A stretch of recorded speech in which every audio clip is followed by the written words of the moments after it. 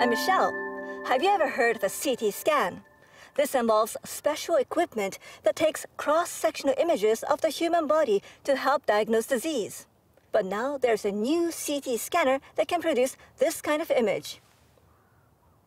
How is this possible? Today we've come to visit the Takumi Your Innovator. Let's go find out. Hello, I'm Michelle.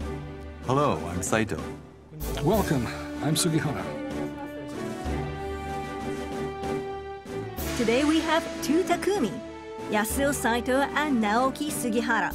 They have developed a new type of CT scanner. This is the machine.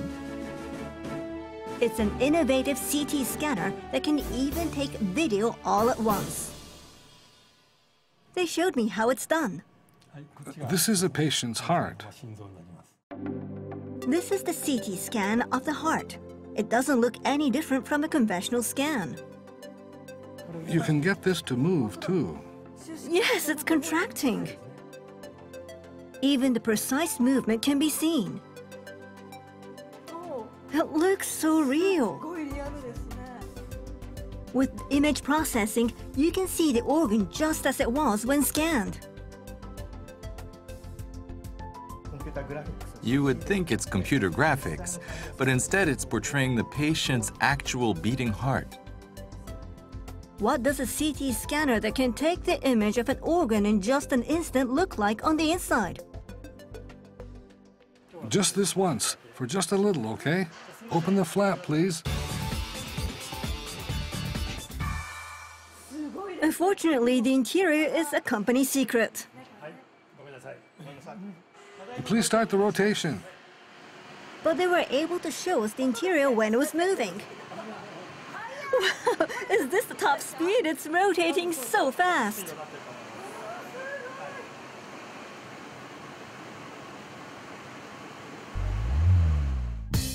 A CT scanner uses an X-ray emitter and a receiver that rotates around the patient's body at high speed. This scanner takes just 0.275 seconds to complete one revolution and perform the scan. Is this machine different from conventional CT scanners? The difference lies in the width of the detector. Conventional detectors are as wide as the palm of the hand, but the latest is 30 centimeters wide. Conventional scanners are also more narrow, so images are taken by moving the patient's body little by little. But with the new scanner, the width of the detector is wider, so cross-sectional pictures are taken only once. This means there's less radiation exposure. But the two Takumi had to overcome many difficulties in development. This part here is what's called a module. This module is part of the detector from back in 2001. Dozens of these are arranged in a row to make one detector. Numerous 1 millimeter sized pixels are embedded on the surface. The whole detector has 16,000 in total. But their target number of pixels was 3 million, 187 times the ones they had developed. That meant handling large amounts of data. So the signals sent from each pixel had to be shortened to make high-speed transmission possible. Furthermore, they developed a special high-speed computation device to instantly calculate the enormous amount of data. This enabled the development of a detector that was four times wider. But there was yet another problem. When the detector was widened, noise appeared on the image that should not be there. The stripes that you see are the noise. When the detector is widened, the angle of the X-ray also widens. The phenomenon appeared when the X-ray hit the bones at an angle. To solve this problem, they took numerous samples and analyzed the conditions under which the noise appeared.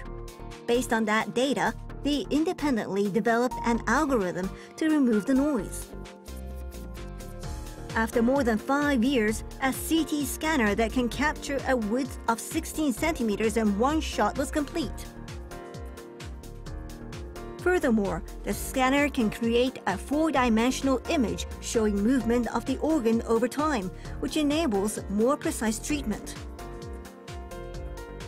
For example, this tumor seems to be adhering to the inner side of the lung, but from the video footage, we can see that it is not completely attached. This kind of important information can help reduce the burden on patients undergoing surgery. We asked the two Takumi who developed this unprecedented CT scanner about the importance of craftsmanship. Well, since I'm an engineer, I really feel that my work should help provide people with the best products that offer new value. My hope is that developing a new device can help those patients who were not able to be saved before. The CT scanner developed by the two Takumi is widely used in Japan and overseas as an industry-leading device.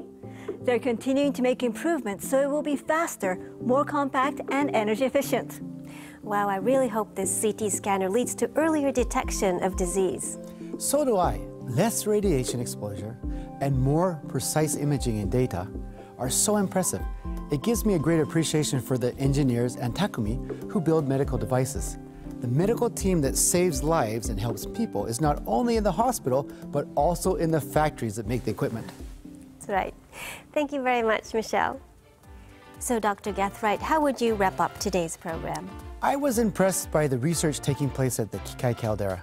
Today we learned that the Earth has her own timetable. Though we may not be able to predict the next massive eruption, this research could help us perceive the warning signs and save lives. And that's all for Science View. Thank you for joining us. And see you all next time.